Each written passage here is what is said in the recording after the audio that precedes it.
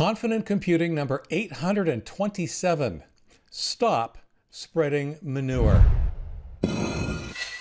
Hi everyone, I'm Leo Notenboom for AskLeo.com. No, this isn't about politics, at least not mostly about politics. This week's featured article really applies to just about all the information that we consume, be it online or offline, and be it about politics or just about anything else. It's just extremely obvious that politics is perhaps the most extreme example we get to see every day right now. Here's the thing sharing stupid things makes you look stupid. It just does. Sharing lies and misinformation makes you look even worse.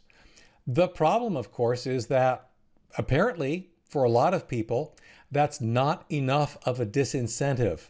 And the net result is that we are all facing a deluge of what I can only call poop. This week's featured article, Stop Spreading Manure, is my plea to you to please don't be one of those people. Also, this week, how do I find someone's email address? You know, you would think it would be easier, but it's not. There are, in fact, two problems. One is there's no central directory, and two, not everybody wants to be found. Five reasons ransomware will be around for a long time, and I really do mean a long time.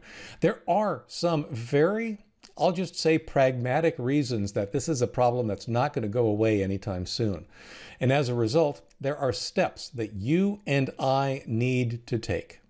And in the ongoing series, as it turns out, of articles on why your system might be slowing down, another possible reason is malware, but not for the reason that you might think. On YouTube this week, in addition to the articles I've just mentioned, we also end up talking about whether or not you need a firewall for your home network and whether or not you should be disconnecting your backup drive when you're not actually backing up because of the aforementioned ransomware. This week there was no TEH podcast, and there probably won't be one next week either.